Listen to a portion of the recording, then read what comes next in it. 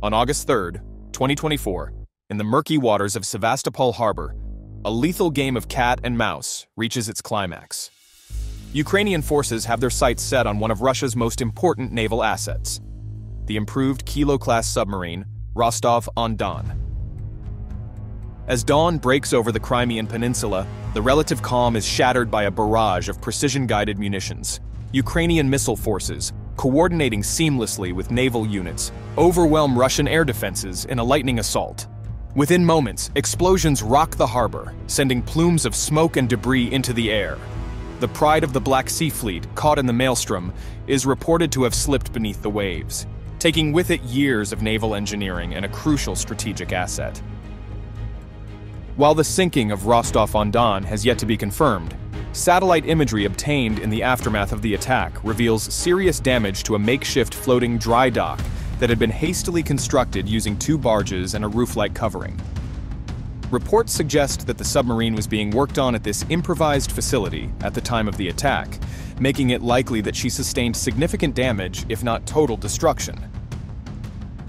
This $300 million behemoth, which entered service in 2014, represents the pinnacle of Russia's naval modernization program.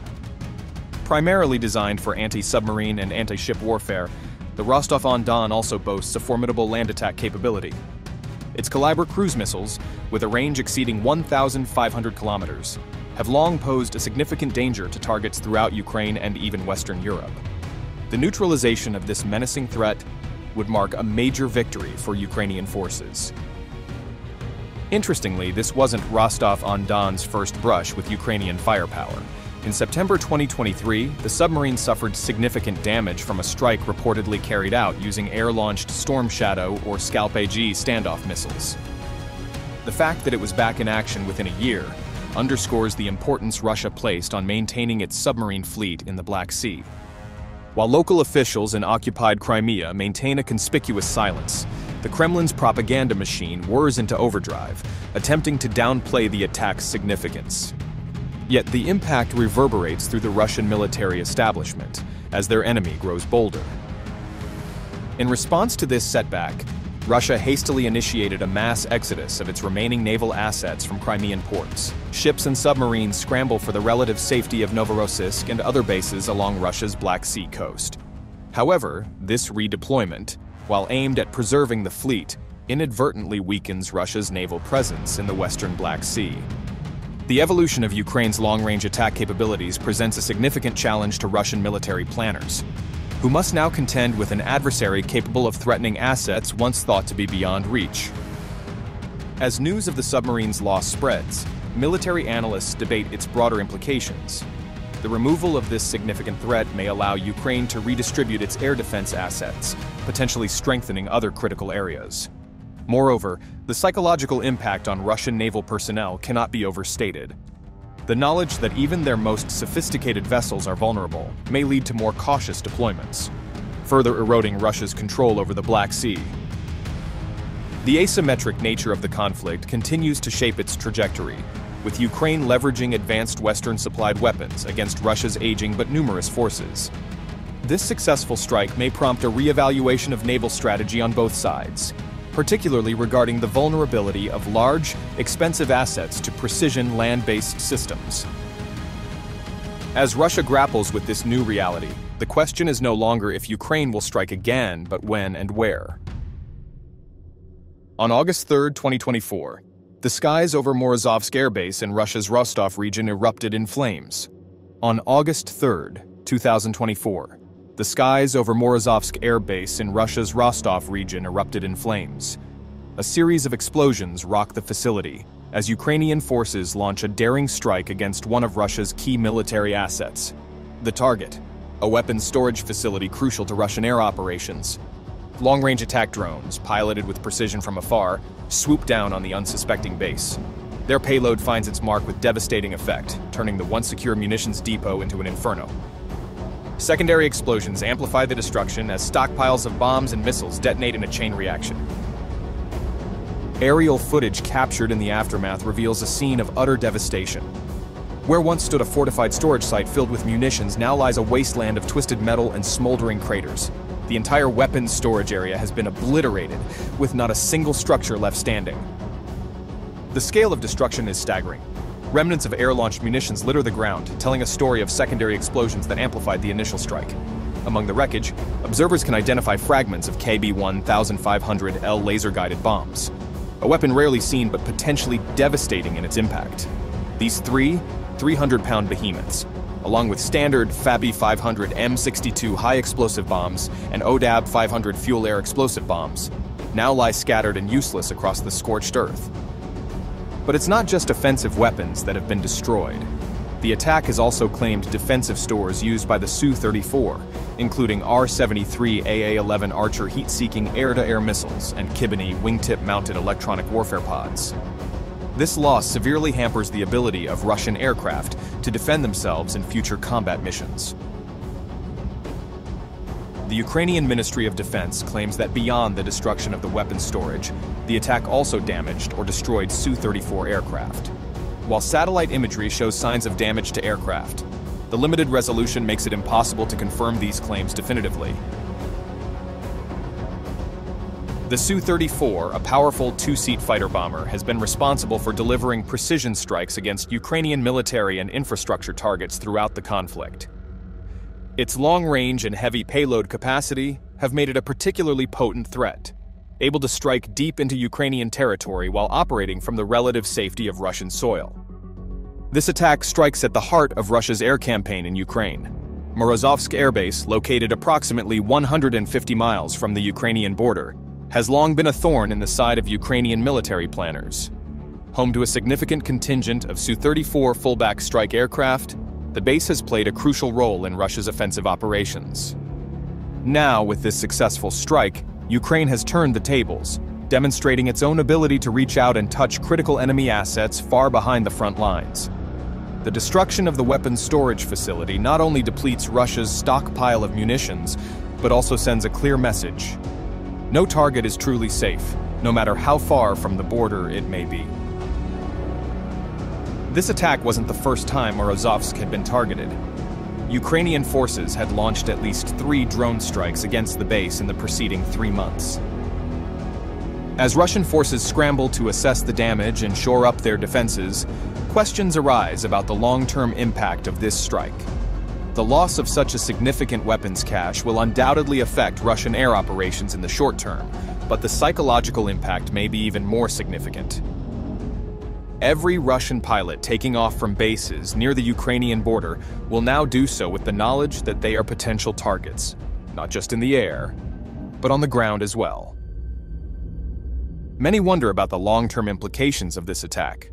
Some commentators suggest Russia might be forced to disperse its munition stores more widely, potentially complicating logistics. Others contemplate how the loss of sophisticated electronic warfare equipment could impact the balance of power in the skies over Ukraine. As the smoke clears over Morozovsk, one thing becomes clear. The rules of engagement have changed, and the war looks set to enter a new, more perilous phase. Ukrainian forces have launched a daring incursion into Russia's Kursk Oblast. During the first week of August 2024, Ukrainian troops moved into territory inside Russian borders, pushing as deep as 10 miles into enemy territory in some areas.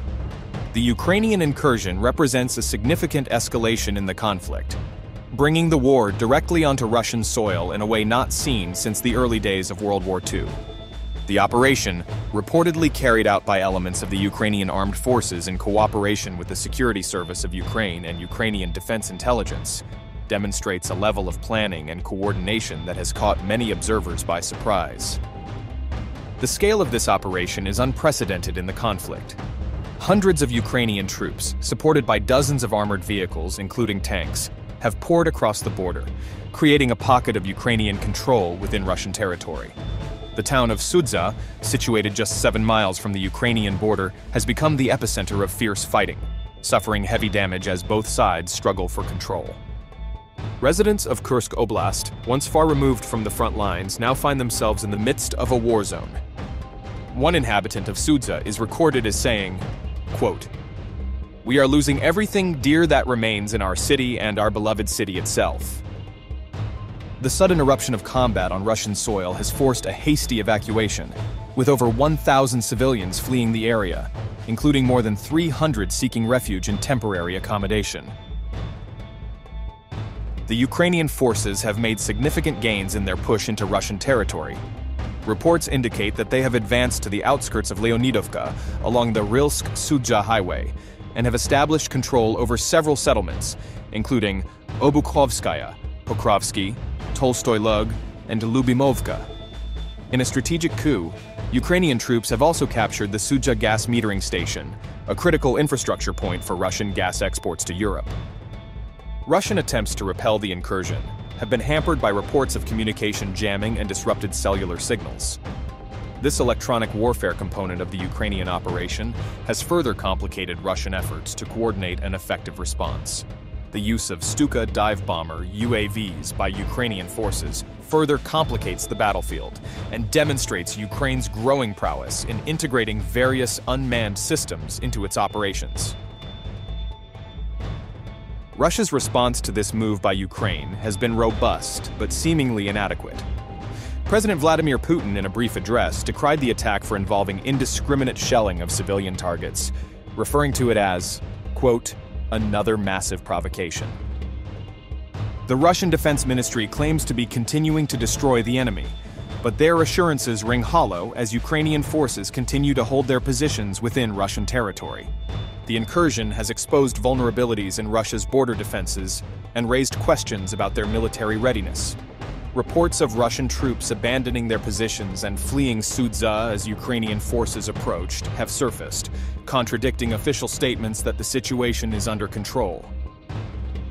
Unlike previous cross-border raids carried out by pro-Ukrainian Russian partisan groups, this incursion directly involves the armed forces of Ukraine. The audacity and scale of the attack have caught many observers by surprise, demonstrating Ukraine's growing confidence and operational capabilities. As the conflict within Kursk Oblast continues to unfold, its broader implications are becoming apparent. The incursion forces Russia to divert significant resources to defend its own territory, potentially weakening its positions along the main front lines in Ukraine. It also serves as a powerful psychological blow, bringing the reality of war home to the Russian population in a way that cannot be easily dismissed by state media. The duration of Ukraine's foothold in Russian territory remains uncertain, as does the true nature of their ultimate objectives. This audacious incursion could be a temporary raid aimed at destroying key infrastructure and gathering crucial intelligence. Alternatively, it might signal the beginning of a more permanent Ukrainian presence on Russian soil, fundamentally altering the dynamics of the conflict. As both sides continue to pour resources into this unexpected battleground, the world watches with bated breath. The outcome of this bold gambit could dramatically reshape the contours of the ongoing war, potentially setting the stage for an even more intense and unpredictable phase of the conflict. The ramifications of this incursion will likely reverberate far beyond the immediate battlefield, influencing military strategies, diplomatic efforts, and the delicate balance of power in the region for months, if not years, to come.